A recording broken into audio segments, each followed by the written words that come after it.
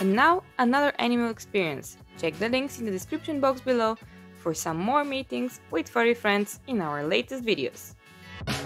The cafe has some important rules which you should read before you arrive to have a great experience. For example, definitely don't bring your luggage.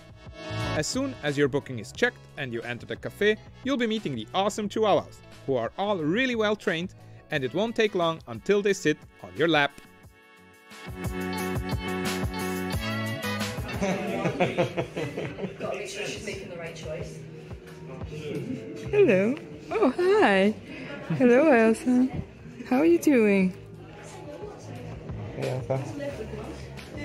You want to check out Sandro? Or, uh, or are you hanging out with Cleopatra here? She's, she's testing here. She's like, oh, that's cozy, it's warm.